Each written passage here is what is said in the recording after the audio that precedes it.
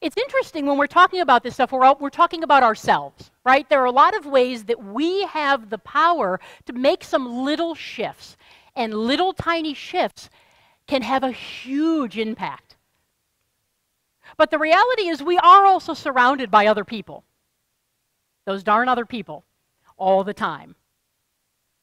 So I want to share with you now an analogy that brings a little bit of some of the stuff we just talked about into the mix but starts to bring these other people in and how to manage those people in an incredibly effective way in your life.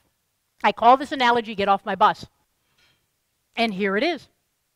Every one of us, when we're born, is a bus driver. And we have a bus that we drive through our lives.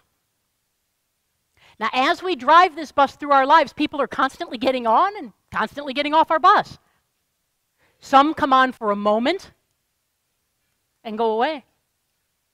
Some come on for a lifetime. Some are there and they're on or off, or they might move to the front of the bus, the back of the bus. They move, but they're there.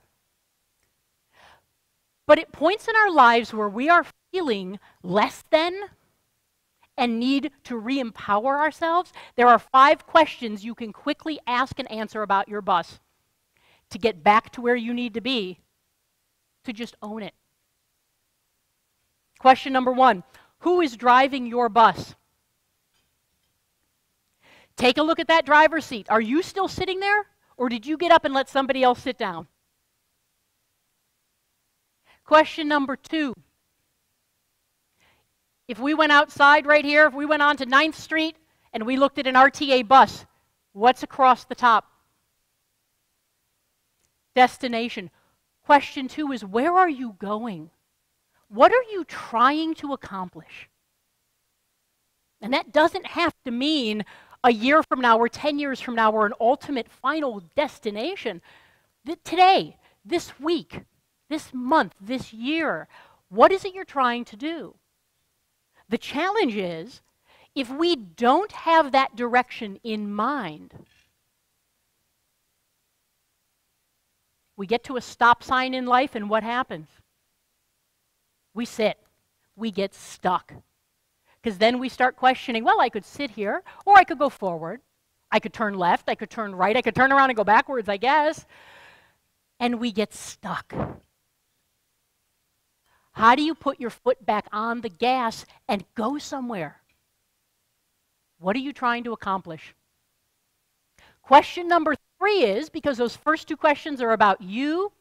Question number three has you turn around, look at your passengers, Question number three is who needs to get off of your bus?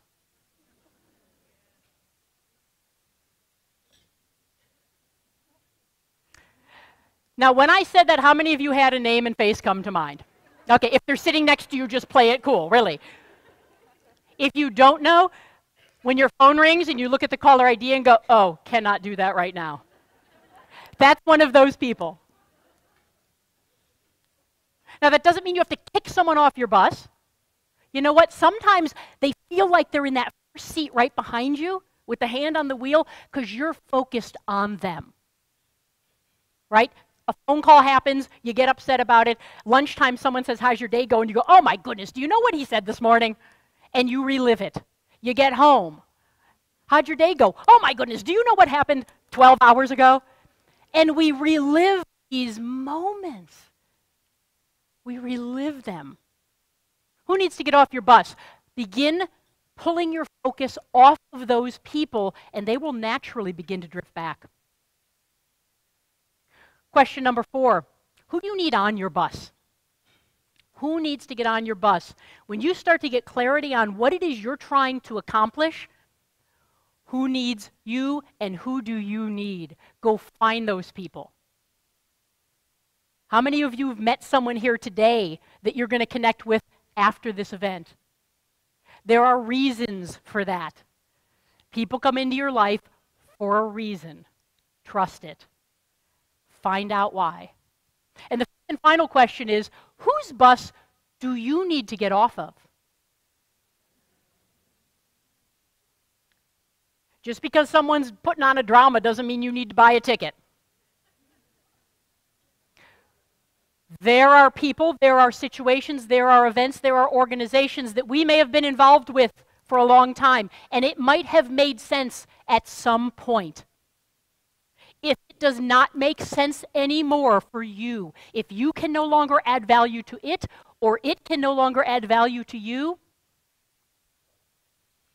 it's time to step off that bus. Because you cannot go where you're going until you leave where you've been.